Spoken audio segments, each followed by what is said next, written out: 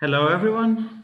My name is Anton Akhmerov, and I'll just be here to introduce the talk and keep an eye on questions, etc.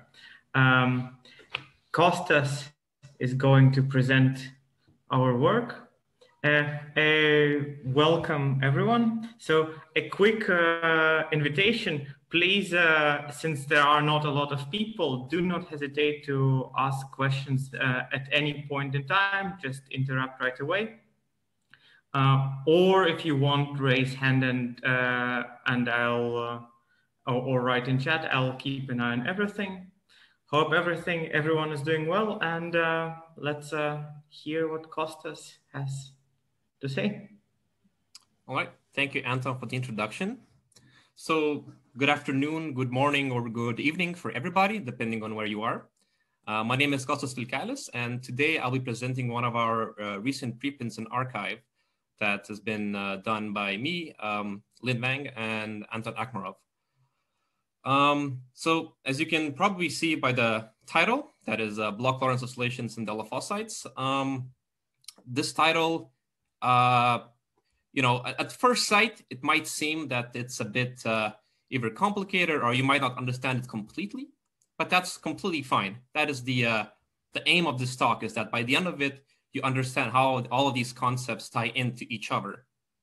And of special notice is the uh, the Bloch Lorentz part, which is going to be kind of the uh, the heart of our talk. Um, before we get into our little electron vaults, we must first establish the stage, and our stage is delafossites. So just a quick rundown of the delafossites. So the delafossites are mineral materials uh, with kind of the chemical formula you see here on the left. They're kind of like the ABO oxides. Um, and for like A and B materials, you know, for A, you usually have something like platinum, palladium, transition metal, um, transition metals. And for B, you have something like uh, cobalt and um, chromium. And you know that's fine and good, uh, but let's let's take a look at their structure. So you can see um, their structure um, has this this this this unit cell. You can see on the right here, and uh, if you look at it, you know you see the, these these these green planes, these green balls. They represent our A atom, which is either palladium or, or, or platinum, and this usually um, means that uh, this usually kind of corresponds to the conductive layer of, of, of the uh, delafossite. In between two conductive layers, we have a insulating layer of cobalt oxide or chromium oxide or, or whatever. And, and, and as I mentioned, this layer is it's insulating. Now, this structure is uh, is fine, but it's maybe a bit more, it's, it's more complicated at, uh, than what we require of it. So we can kind of easily deconstruct it into having, into being just uh, alternating layers of metal and insulator. And this is what we're going to use kind of later in the talk. But that's basically what it is. It's, it's just, you could view it as a heterostructure of alternating metal and insulator layer. Now, you might be asking, you know, you know, this delafossites, yeah, they seem cool, but, uh, you know, what do we do with them? What's, what's kind of the research potential here? And to answer that, uh, kind of the, one of the answers lies in their room temperature resistivity. And if you look at it, uh, you can see here on kind of the center of the screen, that the palladium and platinum have a really, really high conductivity at room temperature, almost as high as these elemental materials like silver and copper, which is quite amazing. And you know, part of the reason why these materials are so conductive is because they have a very high Fermi velocity, which is close to the free electron value, but also because their mean free path is quite high at, at, at uh, room temperature, 600 angstroms. You know, that's quite cool but that's not the kicker yet. What is really amazing is that if you decrease the temperature even more, you see that at around 10 Kelvin or less, the mean free path just becomes 20 microns, which kind of in mesoscopic physics is just forever. You know, these electrons can just flow in the delafossites without, uh, you know, practically ever encountering a scattering event. Um, now, Costa, do you or anyone else understand why this is the case? Why the mean free path is so long? Oh yes, I, I was going to get into it, and and you know, thanks to Ad for asking the question. And one of the reasons why, I mean, it's it's um, it's because of their kind of like the delafossites have a very very um, clean, pure nature. So if you were to look at the defects in the delafossites, to have something like one defect to the 10 to the 10 sites, Um, and you know, it's, it's from my understanding, it's uh, from fabrication, which is not a lot. Um, you know, it's very hard to actually. Uh, it's it's very easy to produce these these delafossite samples being ultra pure. They just kind of are are like that, just by, by base value. Um, now it's it's it's it's entirely like a different uh, kind of field of research in understanding why they grow so pure and for that, I guess I, I, I point you to this uh, review paper by uh, Professor Andrew Mackenzie. Um, yeah, so, okay, so, so that's pretty cool. That's the in-plane properties. Um, but, you know, what about the out-of-plane properties? Uh, what, what about, you know, what do we know about them? Well, um, you know, the same question must pose, uh, maybe uh, was posed by uh, uh, the lab of, of Professor Philip Moll uh, at EPFL. And what he did was basically, okay, so they take this, this delafossite crystal. So here the, the yellow balls represent kind of this conductive layer of platinum or palladium. And in between you have these, uh, the insulating layer, right? And these uh, uh, lines at the top represent the unit cell, okay? So what he did is they first applied a magnetic field in plane, so in the plane of the conductive layer, um, and then they basically did a conductance measurement. So they passed a current going out of plane. So basically the current was going through the sample and they measured the voltage, okay?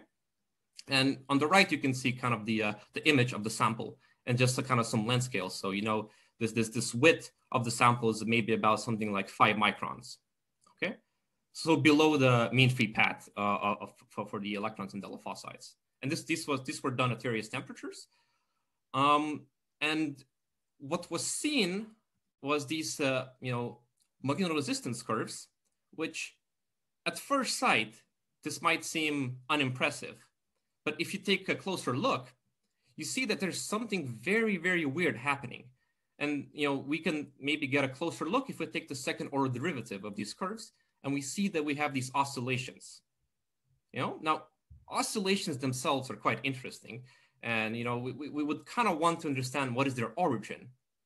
But you know, before kind of trying to understand the mystery of the of these uh, oscillations, um, let's kind of like deepen the mystery with a few more kind of uh, measurements. And one of those measurements was their temperature dependence. And you can see that these oscillations are incredibly resistant to temperature. Um, you can go maybe something like to 60 Kelvin, and these oscillations still persist, which is you know, quite amazing if this was some kind of interference effect, which means that just the coherence in this delafossites is just amazing, okay?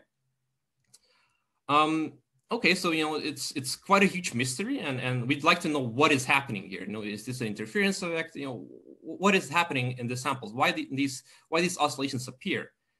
And, you know, to first understand this or to first kind of uh, undig this mystery, we must take a look at their behavior.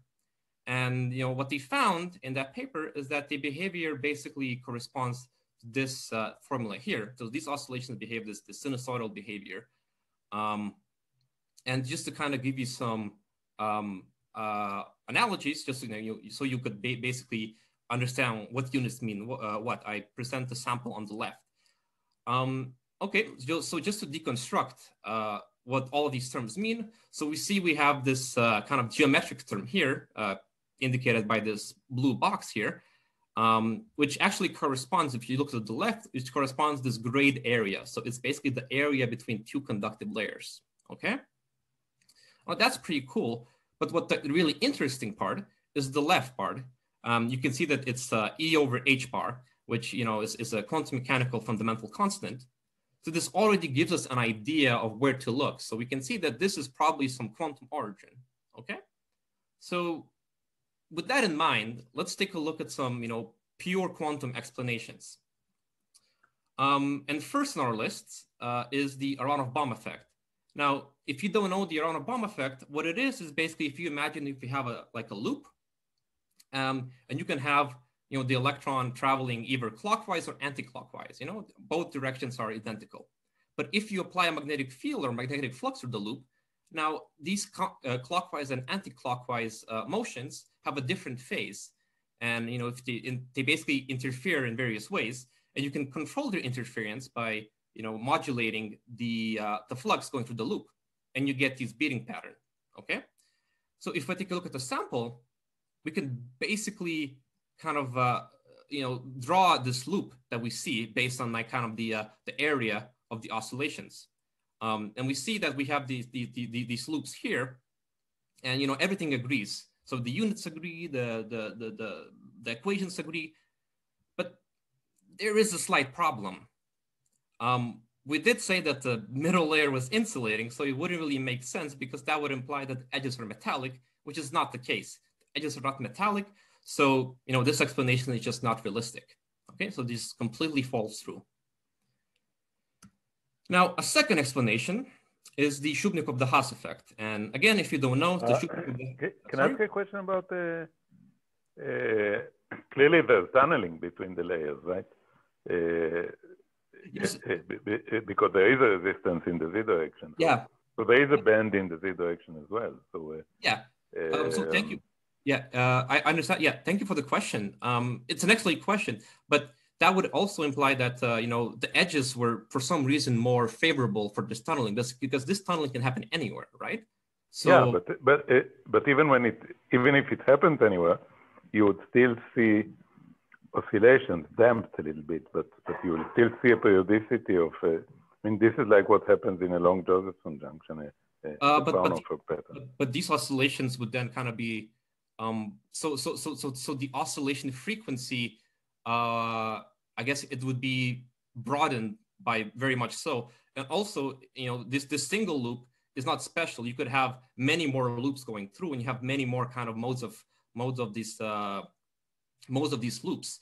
And you would have many, many frequencies, but the experiments don't really see uh, these frequencies. You only see basically as just a single frequency, which which is given by the equation there. So yeah, but if if the okay, I shouldn't uh, interfere too much. Yeah, yeah, exactly. Okay, I hope that answers the question. Um, Yes. So the second possible explanation is the Shubnikov-de-Haas effect. Um, and once again, if you don't know, Shubnikov-de-Haas happens, you know, if you have a very strong uh, magnetic field, uh, your sample starts forming Landau levels, and you know these Landau levels basically uh, go through Fermi level, uh, Fermi level, and you know you see an increase in conductance, and then they pass through the Fermi level, and then again the conductance drops to zero, and you get these oscillations again. Um, but the problem is that these oscillations would be inverse to the magnetic field, and if you remember our previous formula, um, the oscillations were kind of proportional to the magnetic field. So once again, you know, this explanation is not good. Okay, so I mean, uh, you know, our kind of simple, pure quantum explanations are falling through. And you know, so what, what is going on here? Like, uh, how can we explain this? Obviously, quantum mechanics can be wrong. That's a bit too conceited to think about it. But in order to kind of confirm that, we would need to run like a full quantum simulation of this of this system. And you know, you know, so, so as I mentioned, you need to like set up a huge tight binding model, put a magnetic field, and then you know run numerics. And you know, with numerics, you, you, you can't really hope to achieve analytics in this system because you need to also model the boundaries because W, the, the width of the sample comes into play here. Um, so you have to run numerics and you know, numerics are great, but in the end, you'll just get a lot of pretty looking plots with maybe not as much physical insight as you would get from analytics. So, you know, that's not a great start. Unless we use semi-classics. Now, you know, in the first place, there really wasn't a, a, a, huge reason for us to even consider an interference effect because delafossites are, you know, first and foremost, uh, they're metals, they're conductive metals. They have, you know, quite uh, large electron densities. So you wouldn't really expect the interference to be playing a part here.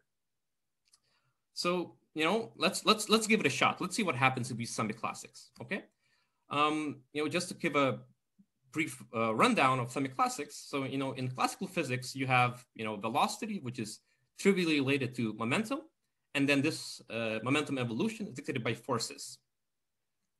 Now, semi-classics basically extend this motion, and you know we, we still have velocity and we still have momentum, but now it's replaced by crystal momentum. And our velocity is defined through the dispersion relation. And our crystal momentum is basically defined, uh, the evolution of it is basically defined the same way through the forces. Um, so we already see from these formulas that we need uh, one ingredient at least, uh, and that is the dispersion relation. So let's set up a very, very minimal tight binding model just to get that. So to achieve this, um, since we have in the conductive plane, uh, our our our the conducting plane is basically hexagonal. You know, we get this hexagonal unit cell. We say, okay, we have nearest neighbor hoppings. You know, that's the first part. But you know, just to keep in mind, um, this this this this in plane geometry is not really what's important here. You could have a cubic or, or not cubic, but like a square or anything. What is important though is to consider the uh, kind of tunneling through the through the planes, uh, through the you know neighboring metal uh, planes. And we call this TZ. And you know, as I mentioned, the, the the the vital point here is this approximation here, is that we say that these this hopping between two planes is is is is, is small compared to the uh, in plane nearest neighbor hopping, and we call this the quasi two uh, dispersion approximation. Okay, and in essence, what this gives us in this case is this cylindrical Fermi surface. So you see kind of in plane, you have this hexagonal shape, which is nice. But like out of plane, the, uh, uh, the Fermi surface is basically flat. And if you apply our previous kind of formulas for velocity, you know, since this is basically flat, you, uh, flat, uh, you would you would see that the velocity is, is, is, is very negligible. Okay. All right, so uh, that's the first ingredient. Um, the second thing we need is, uh, as I mentioned, um, since in our formula that we saw for the frequency, width plays a part here. So we must be able to model the boundaries in our sample. And that is exactly what we do. We uh, kind of set up two, um, two infinite boundaries uh, along the y direction. Um, and you know we use, in, in this kind of animation here, I show kind of specular boundary conditions, but uh, what we actually use in the paper is, is diffusive boundary condition. It's just easier to plot. However, um, the exact choice of boundary conditions doesn't really affect our results. And we see oscillations in either case. And it doesn't seem to affect um, kind of the frequency of the oscillations, but it, I mean, it, it, probably does affect kind of the overall shape of the conductance profile. So that's, uh, uh, so that's kind of all of our ingredients. So let's try to kind of like um, explain within our kind of like limited assumptions, how does the motion of a particle under our assumptions look like? Okay, so we have two boundaries. Um, you know, the here the the uh, the vertical bar is basically the z direction. The horizontal direction is is the, is the x, the width of the sample. And let's say we have a electron that is initially traveling with Fermi velocity from left to right, and then we apply a magnetic field. Now, from kind of a naive standpoint, if you were to apply the, the right hand rule or, or whatever you use to kind of calculate the Lorentz force and so on, um, you would expect the particle to travel in these kind of orbits hugging, hugging the uh, boundary. But that is not, uh, but that's not what's happening. What is actually happening is that because our, because, because of our quasi two dispersion approximation, um, our out of plane velocity is, is, is negligible compared to the in-plane velocity. And therefore, um, the, the, the, if, if we, kind of like, if, if we take a look at, uh, you know, because of the, um, because the velocity out of plane is negligible, the Lorentz force created kind of along, along, uh, along the, uh, the x direction is also negligible. So our x velocity does not change much. So it's almost basically staying constant. So if we kind of assume that it stays constant under our quasi, quasi-two dispersion approximation, we can you know, plug into our semi-classical equations, and we see that kz has this kind of unique relationship with position x. And you know, just to kind of stress this, this relationship is, is, is a bit more general that I present here. Um, you know, you could have a field, magnetic field also have a component along the z direction, and this this equation would not change. It's not influenced by that. It only matters that uh, it only takes in your uh, by. So, you know, if, if we uh, then use this uh, thing that we have on the left, we can actually derive our um, uh, the, the actual trajectory of our particle. And it's, you see the, the particle kind of uh, follows this, this, this, this, this oscillating pattern, which is exactly, exactly what we need. And if we just plot it out, it looks like this. So if it travels through the sample, you know, the, the Z direction has oscillations, but the, on the uh, along the south, the X direction, you know, it, it moves with the fairly like uh, constant uh, velocity. Okay. Now, just to kind of maybe explain a bit more why these oscillations happen, is that if we take a look at the KZ Brillouin zone, and here I kind of point out the negative and positive uh, Brillouin zones of KZ. Um, let's say we start a particle that is in the negative uh, branch of the Brillouin uh, zone. Um, because of the Lorentz force that is uh, exerted on the particle, the particle starts like drifting upwards in the KZ Brillouin zone. And when it hits the, uh, the positive boundary, it goes backwards because of the periodicity of the Brillouin zone. And that is exactly why we have these oscillations. Now, um, there is another mechanism which works very similarly to what we have here, and it's called Bloch oscillations. And with Bloch oscillations, what you have is that if you imagine that you have a sample, you apply an electric field, and alongside the direction you apply the electric field through, you have momentum drift going along that direction. And you have this exactly same thing. The momentum kind of goes from one end to the other of the Brillouin zone and loops back, and you have these oscillations. Of course, that is assuming that your, your scattering is, is non-existent in the sample, uh, but that's details. Um, now, okay, so this looks fairly similar to Bloch oscillations, but there's a very, very huge distinction. And that is the fact that this whole momentum drift is enabled by the Lorentz force. So you can probably already tie into our, uh, our, our, our, title uh, page, our, our, uh, yeah, our title. Um, okay, but let's see what, you know, how, how, the, how does these trajectories change with changing magnetic field. So for example, if you decrease the value of magnetic field, you see the trajectory basically um, uh, changes their, its frequency, right? It, you, you, can, if you control the magnetic field strength, you can basically decide how many wavelengths fit inside uh, between the two boundaries, okay? All right, so that was our simple kind of picture, but let's see if that actually works. So let's plug in all, all of our ingredients, our semi-classics, our quasi-dispersion, and our boundaries, and let's see what happens, okay? So this is what we get. So this is what I plot here is current, uh, but we see that, you know, first and foremost, uh, I, I, plot the x-axis kind of already in the units of our, of our oscillations. So we see that we indeed do get the oscillations at the correct frequency. However, there seems to be a bit of a problem. And I'm not, I'm comparing different things here. I'm comparing current to resistivity.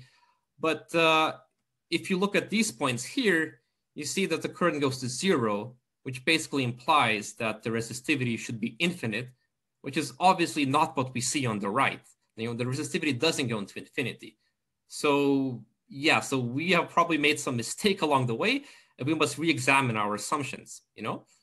Um, but just to kind of give you an idea why these kind of divergence uh, divergences happen, um, you know, if you go back to our simple model, and we have our velocity, uh, our particle traveling from velocity from left to right, and then we tune the magnetic field to actually give us kind of a trajectory that fits like exactly into the sample. So you see, as it travels from left to right, it doesn't really move anywhere along the z direction, right? So where it started on the z axis, it basically ended there. So it didn't really move upwards or downwards. So, so, so that's why there is no current um, at these at these kind of resonance points.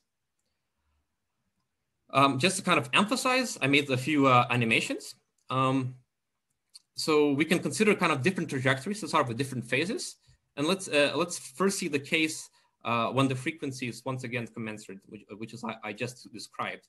So, you know, we have a bunch of these particles um, traveling, but at the end, they all kind of, uh,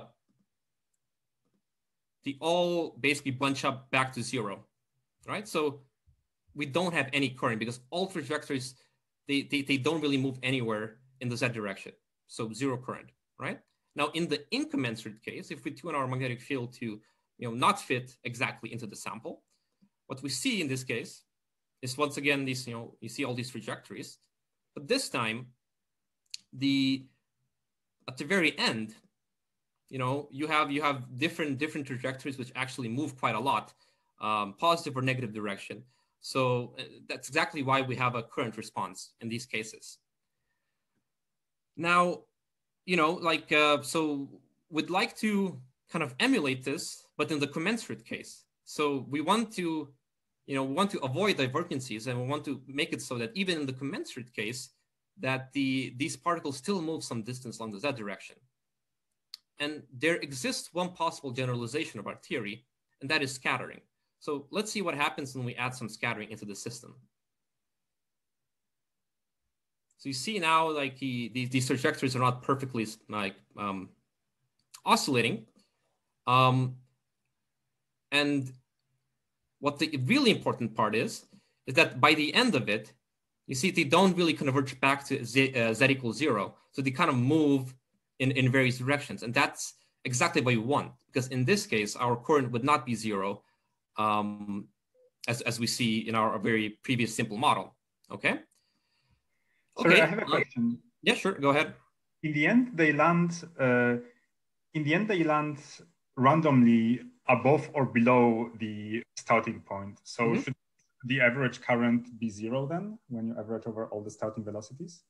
Yes, if there was no electric field. So in this case, uh, the way in our model, what you kind of in, in, in this linearized Boltzmann equations, what the electric field basically plays a role of basically it, it, it favors one trajectory over the other. So it basically favors trajectories which have, you could say, that point along the, you know, if, if we apply electric field over like the positive case of direction, we could say that the trajectories which basically spend more time traveling uh, along the positive direction, they're favored.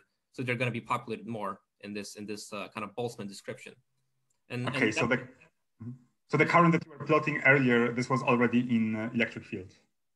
Yes, so so the electric field. Uh, so in these plots, it's just you know uh, particles in the magnetic field. There's no uh, electric field here, but uh, the previous model did assume that there's an electric field going out of plane.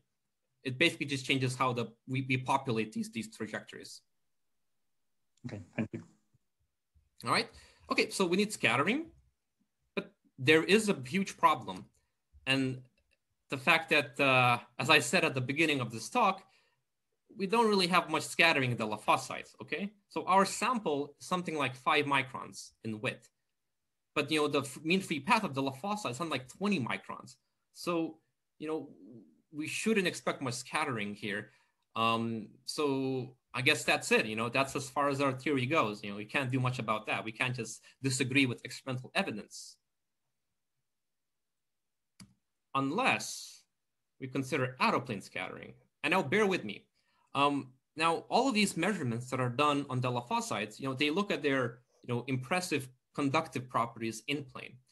And, you know, this, this, this mean free path in plane is truly amazing, but there's not much um, kind of uh, research going on on these out of plane scattering, um, uh, these models for out of plane scattering. And now, even if you introduce some out of plane scattering, it doesn't really affect uh, your, your, your kind of motion in plane. So we're not really disagreeing with any already established data. So that's great. So, you know, let's see what happens if, if we do include, include some out-of-plane scattering. Okay. Okay, so now, you know, we, we add an additional ingredient that is scattering.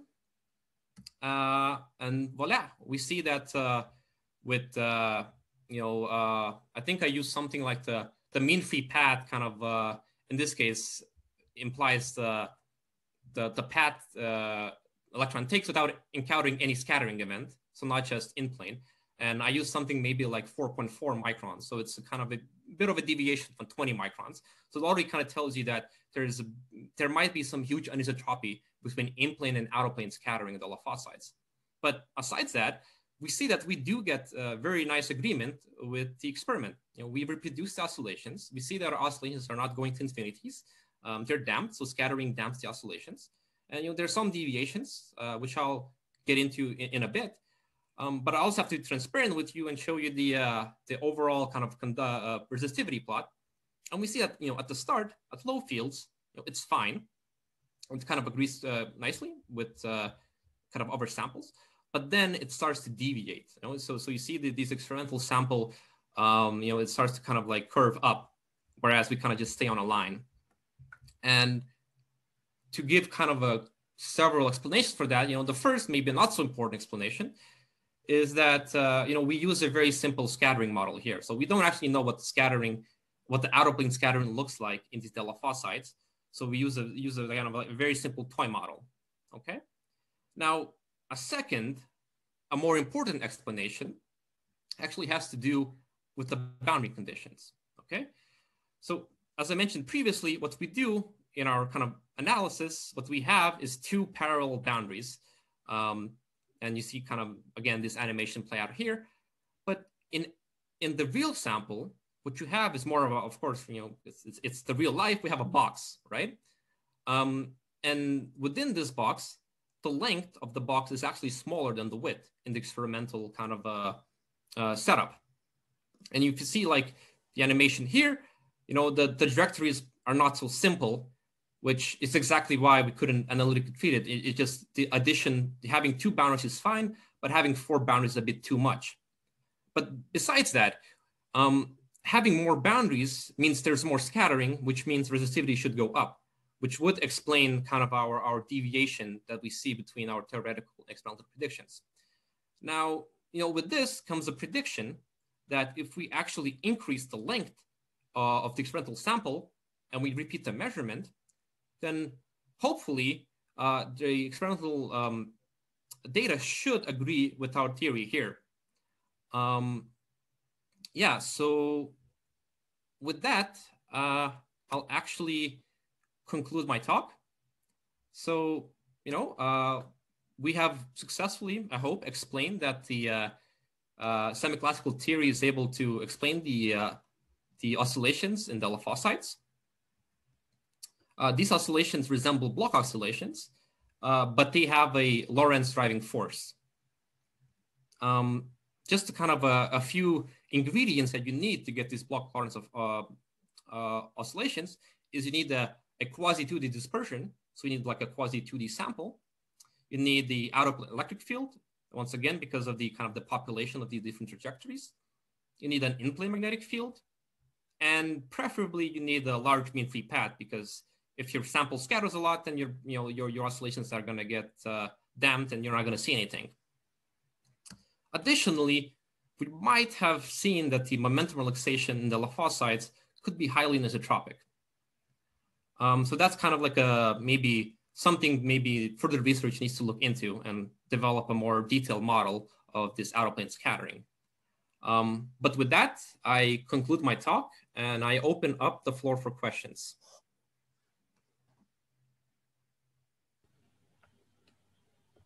Uh, so, so can I uh, uh, ask a question or a comment? Yeah, sure. Uh, so actually, it's it's uh, what I uh, was hinting to when I wrote you, Kostas.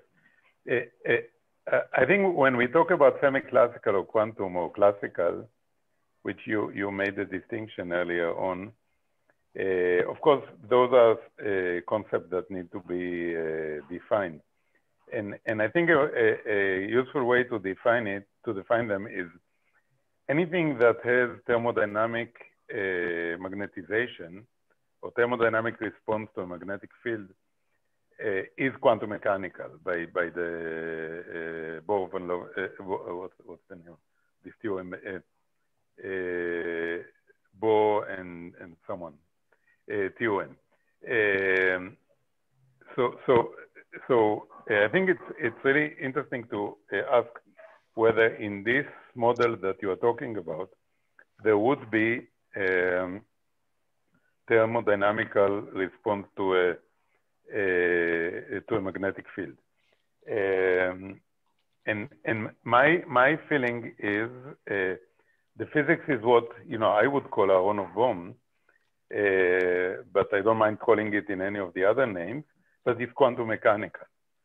Um, and and and I don't uh, uh, um, think that uh, I mean having the tunneling anywhere along the the layers would exclude this. Uh, it would change the shape of the oscillations, but that shape is not sinusoidal anyway. Uh, so so that's what I wanted to add. Oh yeah, uh, yeah, sure. thank you for um, I'm sorry. Uh, was that was that a general comment or, or was there a question? Um, uh, it, it, it, it, was just a, a, suggestion that doing a, a, thermodynamic calculation of magnetization would be something interesting to do. And by now, what can I say? You are the obvious candidate to do it because you thought about it so much. So, uh, I mean, yeah, just, sure. Uh, yeah, thanks for the I just want to motivate this calculation. Uh, this this definitely sounds interesting. Um, I just, I guess I have now some experience with like uh, Boltzmann uh, uh, modeling, but uh, I'm still not sure how to like model these magnetic effects. But it's definitely something that uh, it's it's it's interesting to look at. I, I, I might actually look at this into the future. Um, thank you for your suggestion. Actually, I can, I can give some advice on this if you'd like. Oh, thank you. We can thank talk offline sometime. Okay, yeah, sure. Um, any other questions? Yeah, I have a couple of questions. Uh, uh, thank you for the for the very nice talk. First of all, um, so my first question is, um, I didn't understand why your resistivity plot has your theory has no dependence on W. My theory has no dependence on W. Yeah, that, so that plot, if you this, so here your dashed plot. Why yeah. is there no dependence on, or are you or? Oh, sorry, yeah. So uh, I think I know what you're trying to ask. Um, yeah, sorry. So so this maybe was an oversight on, on on my part making these plots. Um, I only uh, kind of made the plot only for this blue curve here. So I basically the fit is only applicable to this blue curve. Ah, uh, okay, um, got it, got it. But but I mean, yes. So the oscillations here are going to be different, but the probably the uh, the uh, the overall kind of the profile of the conductance is is going to be fairly similar, even though they might have different Fermi velocities and so on. Um, but but as I mentioned in our case, the bigger problem is the boundaries along uh, like the, the length of the sample. I see, I see. And uh, the other yeah. question was um, so at some point you mentioned this uh, you had a like a way of, of validating your theory with this uh, like this limit where you should see a better agreement but at some point you also uh, predicted a mean free path out of plane so i was wondering if a measurement of that could also be used to validate uh, your your model. Yes possibly. So that's I think we were talking about it uh, previously. Um, there was an idea of, of, of, of measuring like uh, conductance going through um, like uh, along the z direction and, and trying to kind of estimate it from there, um, which is I guess it's possible, but I'm I'm, I, I don't know like the subtleties in, in making these experiments and what kind of like noises or, or, or whatever kind of different uh, subtle effects you should expect. So uh, I'm afraid I can't really comment on, on, on this that well, but I think it seems reasonable, yes, that you can probably um, estimate it from kind of from the mean free path as well. Okay, thanks. And maybe make a few quick questions and comments. So thanks for the thanks for the presentation. I mean, we had discussed before. It's it's it's still good to see everything in a in a somewhat coherent uh, way. There's a, there's a couple of comments I would uh, I'd make. I think with this box argument, now I understand this a little bit better. There should also be, uh, uh, we need to, um, we need to think about the hexagonal shape. And so the, the, the, the, trajectories that you do have on the facets of these, they're actually rather one-dimensional. So they wouldn't be able to go in, in any of the, of the in-plane directions. Now, the other thing is that of course, one can take this theory and semi-classically fine-tune now an out-of-plane scattering, and that's really what you need, right? You need much significantly enhanced out-of-plane scattering than in-plane scattering for this to, to happen, right? Mm-hmm, yeah. And uh, uh, uh, so that really doesn't seem to be, at least within experimental uh, evidence. So one thing that you can do is you can take these bars and you can irradiate them. So we have different types of disorder studies, and we show that the essential behavior is just perfectly mapped back onto itself with the scaling of the in-plane mean free path. So now, of course, one can say, well, what if you have a scattering process that somehow the irradiation just doesn't change the out of plane scattering, right? But in some sense, the scattering process becomes very uh, exotic by itself in, in that way. And the other question is, uh, and the other statement, I guess, is that if you apply an out of plane magnetic field and you look into the C axis transport, essentially there you, you wind the states into spirals that can fit into these cylinders. So in high enough magnetic fields, the longitudinal magnetotransport is exactly a measurement of that scattering rate. And it doesn't seem to be that much different. So at least from an experimental point of view, it's there. I, I take all your, your, your comments on the on the uh, uh, thermodynamic uh, or on the, on the on the high temperature of the quantum path, but it just doesn't seem like there is a big difference in the scattering mechanism, at least in the experiments. The same is true, by the way, for ARPES measurements, which also don't see a, a very strong deviation in the band structure in these directions. So I'm just, I, I, I think there's something missing still in this picture. Yeah, sure. So um, yeah, thanks for the comments. So yes, this is, it could be possible that uh, our, our kind of like additional scattering that we, that we, that we need is actually kind of buried in, in, inside the, these these these uh, um, upper boundaries here as well, because uh, we don't include that, and and this might actually just be the additional scattering that we require. Um, I can't comment on your previous comments on the kind of experimental evidence because uh, I guess I'm not too familiar with that. But uh, I mean, if, if you could if you could um, send me those as well, I, would be happy to look at it and and see you know um, kind of what, what is the experimental evidence for this out of plane uh, scattering. But uh, yeah, you do make a good points that uh, I'll, I'll, I'll have to look into in the future. Thank you. Sorry, can I can I can I ask a quick question? Uh, Kostas, thanks very much for the talk. Um, what on the slide here, when you're talking about L versus W, so L is the interlayer contact distance. Do I understand that correctly? That would be our the way we would typically name it in experiments. L is the difference between contacts, or is this an in-plane picture? Uh, this is an in-plane picture. Okay, so this is the this is the aspect ratio yes. of my sample. Okay, so do you have a plot? Because you said the resistance or the resistivity should change if I change that aspect ratio. Um, do you do you have any idea of a functional form, or is there? Did you calculate what that looks like? So, having um, so so so, I guess this is the best uh, that, that, we have right now is if you've increased the, the, like the aspect ratio of the sample far enough into the you know the regime where you basically essentially have two parallel boundaries um, the the magnetic resistance should follow this kind of trend here that we show uh, I show here with the red uh, dotted curve.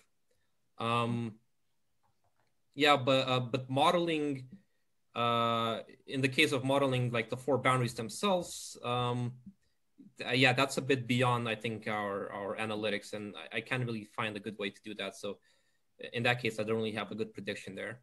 Okay, I mean, uh, one comment about that plot that you reference here is that the difference, the main difference that, that we think this is due is um, you're very sensitive in, in, in this configuration where you apply the field inside the plane mm-hmm. you get in the low temperature limit in the so-called coherence peak, which is well uh, established and seen by many AMRO papers. Um, and so the magnetoresistance change that you actually see here is not is not the thickness dependence. It's just a slight misalignment of field. And here, a degree or so out of the out of the uh, layers, um, doesn't change the oscillation amplitude very much, but it significantly changes the background of the magnetoresistance that we do not very much take into account. So that's why I'm wondering, I mean, on, on what field scale are we talking? If we talk in the low field, zero field limit of resistivity or in the very low field limit, then yes, this difference is very small. But once we go into the high field limit, that difference relies dramatically on a perfect orientation of the sample because this peak is so sharp as you can see here, this difference is likely just due to a few degrees of misalignment. Mm-hmm. Oh yeah, uh, so yeah, thanks for the comment about the misalignment. It's something I actually haven't looked at, so um, it's kind of uh, maybe some new information here that uh, this this this would be so so so drastic. Um, yeah, I, I don't think I can comment this right away since uh, I'll need to think about it. Uh, but yeah, thanks for the uh, the comment for the misalignment.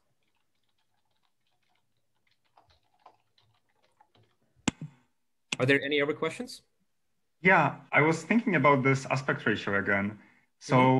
you, the, the, problem with the vanishing uh, conductance when the electrons all arrive back at the same point. So we solved this with order, but wouldn't this be also actually solved with if you treated the motion in 2D, like in this in this box, because the motion then would be maybe chaotic or something. I mean, maybe the disorder that is important is not the disorder of the motion of the electron, but just induced by the scattering of the boundary, because just if the bouncing of the boundary changes, uh, changes angle of the electron at some random fashion, then it will not arrive at the same point. Um, uh, yeah. So so th thanks for the uh, the question, uh, the comment. I guess in this case, um, yeah, that that's entirely possible. That uh, you know we, we treat these boundaries quite maybe idealistically, um, and we maybe don't know what's what's the you know what the true kind of the boundary conditions here are. But definitely, yeah, that, that the boundaries probably do play a, a, a, large role in kind of establishing this this this absolute resistance scale in in in in in this case. Thanks. Any other questions?